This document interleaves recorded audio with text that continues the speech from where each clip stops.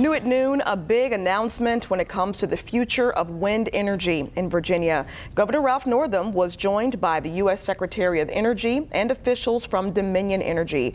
Casey Baylor tells us more. Let us go forth and generate some clean electricity. And create a new identity for Hampton Roads.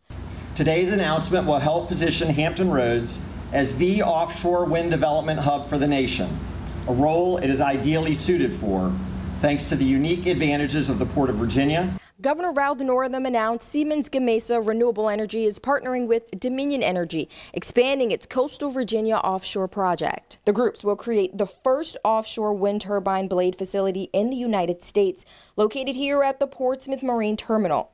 This announcement is good for Virginia it's also an important step in supporting other offshore wind projects along the East Coast.